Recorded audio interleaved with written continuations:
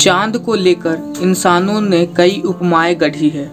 तो वहीं चाँद पर जीवन की संभावनाओं पर भी वैज्ञानिक लगातार गहन शोध कार्य में लगे हुए हैं। लेकिन जरा सोचिए, अगर ये चाँद ना हो तो क्या होगा?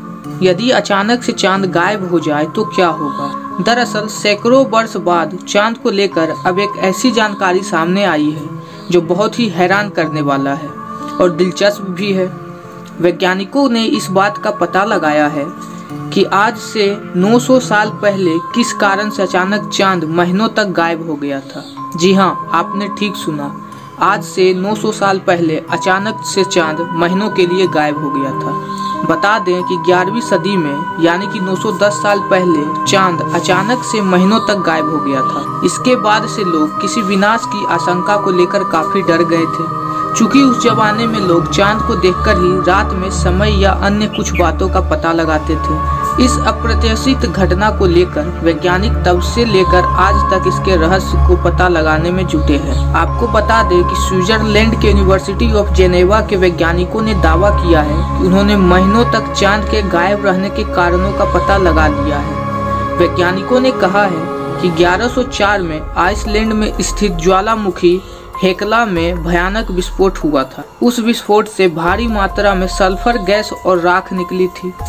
यह राख आसमान में तेज़ी के साथ फैलता चला गया और ठंड का मौसम होने के कारण हवा में घुलकर धरती के वायुमंडल को जाम करना शुरू कर दिया। यह प्रक्रिया निरंतर चार साल तक चलता रहा और फिर पृथ्वी का स्टेटोस्फियर इसकी राख के कारण चार साल बाद पूरी तरह से अवरुद्ध हो गया। यही कारण है कि चाँद की रोशनी पृथ्वी तक पहुँच ही नहीं पाती थी। इस कारण से रात के समय में पृथ्वी पर चारों ओर अंधेरा छाया रहता था। चाँद के उल्टा होने की अफवाह आग की तरफ़ फैल गई थी।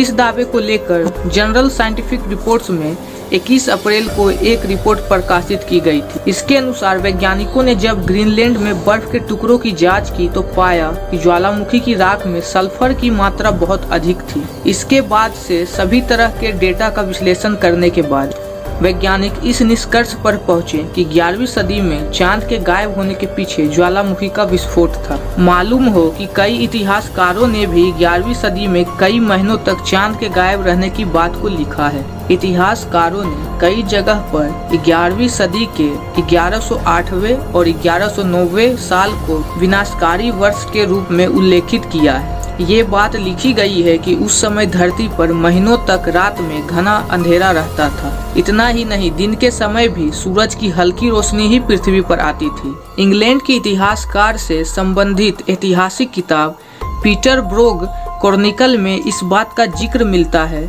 कि 1109 में मौसम काफ़ी खराब हो गया था। इसके कारण पेड़ पौधे भी सूख गए थे। खेतों में फ़सलें बर्बाद हो गई थी, जबकि गर्मी के मौसम में तापमान माइनस एक डिग्री सेल्सियस तक पहुँच गया था। तो दोस्तों, आशा करता हूँ कि आपको यह समझ आ गया होगा कि आज से 910 साल पहले चाँद अचानक से क्यों गायब हो गया था। तो आज की हमारी यह वीडियो यहीं तक है। अगर आपको यह वीडियो पसंद आई है तो इसे लाइक, शेयर और हमारे चैनल को सब्सक्राइब करना ना भूलें।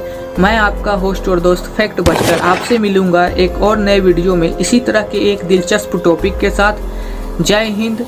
Vande Mataram.